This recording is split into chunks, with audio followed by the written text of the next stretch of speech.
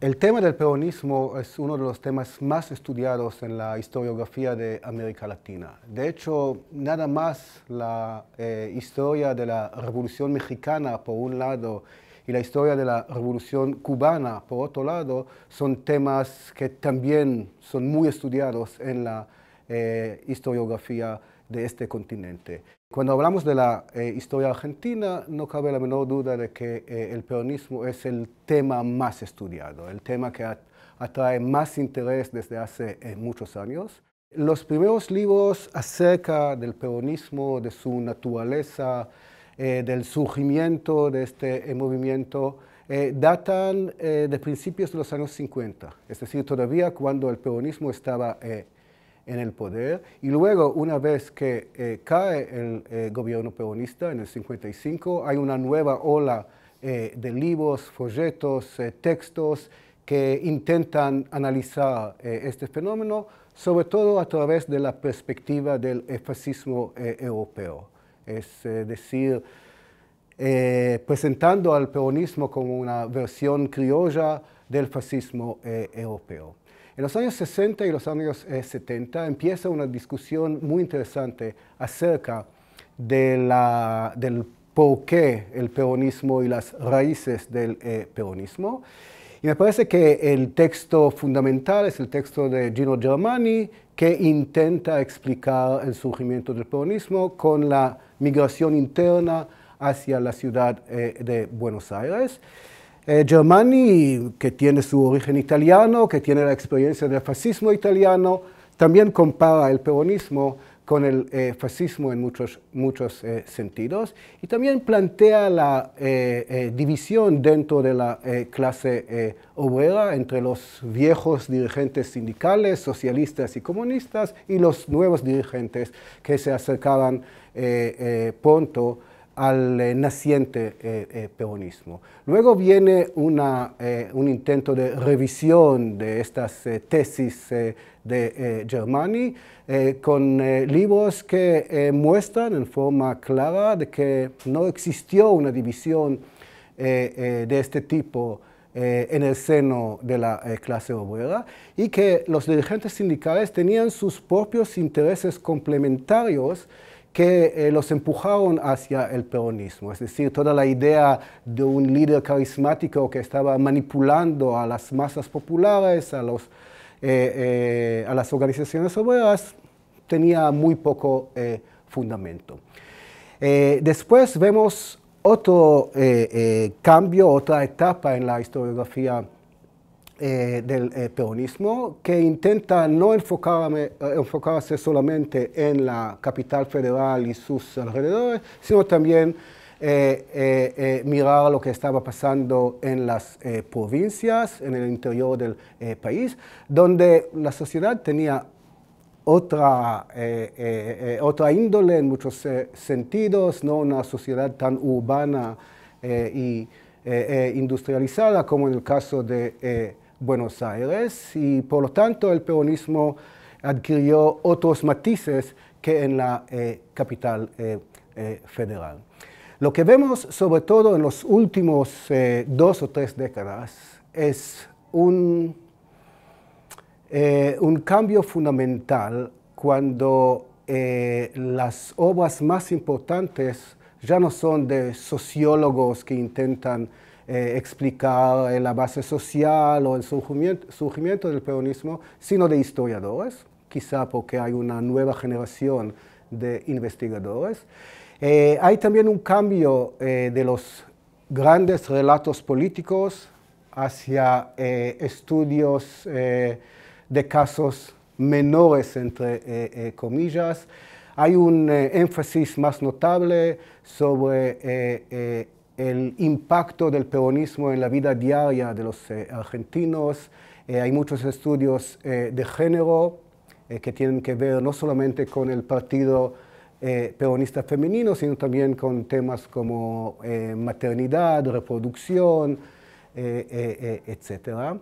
Cuando pienso en mi propio aporte a, a, esta historiografía, esta nueva historiografía del peronismo, yo podría hablar de cinco temas. Uno tiene que ver con la política exterior del peronismo. Mucho se ha escrito sobre la neutralidad argentina durante la Segunda Guerra Mundial. Hay menos estudios sobre la política exterior peronista y acerca de la significación de la llamada tercera posición en la escena eh, internacional. Y me parece que mis estudios sobre las relaciones Argentina-Estados Unidos, Argentina-la España de Franco, Argentina y el Estado de Israel, muestran claramente de que la tercera posición no era una equidistancia entre los Estados Unidos y la Unión Soviética. La Argentina peronista tenía una clara política pro-occidente, eh, le dejaba a, los Estados Unidos eh, dirigir la lucha en contra del comunismo en el contexto de la eh, Guerra Fría. Entonces, un tema es la política exterior. Otro tema tiene que ver con la cultura popular. Cuando publiqué por vez primera, hace 25 años, mi texto sobre el uso y abuso del deporte en la Argentina peronista fue un texto pionero.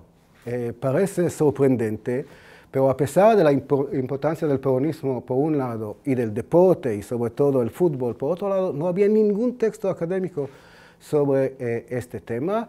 Y después de, este primer texto publiqué varios libros sobre la llamada cancha peronista, y eh, intentando evaluar el grado de peronización de los clubes eh, de fútbol en eh, distintos lugares en este país. El tercer tema que vale la pena enfatizar es el tema de la segunda línea de liderazgo peronista. Se ha escrito tanto sobre Perón y sobre Evita, pero muy poco acerca de una serie de figuras que jugaban un papel clave en el surgimiento del peronismo, en su consolidación en el poder, en la elaboración de la eh, doctrina eh, eh, peronista. Y hasta hace poco sabíamos casi nada acerca de figuras tan importantes como los vicepresidentes de Perón, dirigentes que vinieron del movimiento obrero, del mundo empresarial, eh, del mundo eh, eh, académico, de la burocracia, de las Fuerzas Armadas, y solamente a través del estudio de estas figuras, su trayectoria y su aporte al peronismo, es que uno entiende lo heterogéneo que fue este fenómeno peronista. A raíz de esta teoría mía acerca de la segunda línea, ya hay estudios sobre la tercera línea eh, del peronismo, eh, sobre todo en poblaciones muy pequeñas, de mil, dos mil personas, donde la dinámica social y política era completamente eh, distinta. También creo que tengo un aporte en agregar la dimensión étnica a los estudios del peronismo. Porque para mí el peronismo representó no solamente la inclusión social de la clase obrera, eh, de mujeres, de eh, ciertos eh, otros sectores, sino también de varios grupos de inmigrantes y sus descendientes nacidos ya en la Argentina. publiqué un libro titulado Los muchachos peronistas judíos. Ahora estoy escribiendo un libro sobre los muchachos peronistas árabes, es decir, de colectividades étnicas no latinas que con el peronismo consiguen un reconocimiento sin eh, eh, precedentes.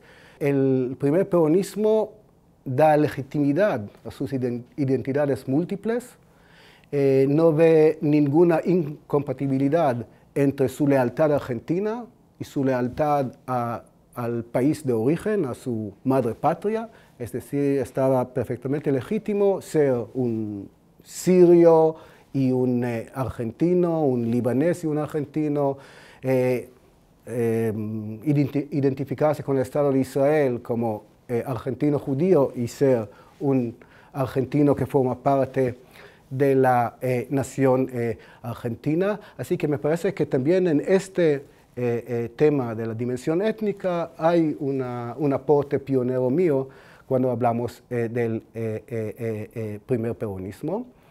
Y luego yo podría decir algunos aspectos de la política social peronista en aquellos años y la influencia del socialismo y de ideas socialistas sobre eh, el peronismo. No se trata nada más de la presencia en el primer gobierno de Perón de figuras como eh, eh, Juan Atilio Bramuglia o Ángel Borlengui, sino de la adopción de ciertos conceptos, ciertos términos que vinieron desde el socialismo e influyeron en la elaboración de la doctrina peronista.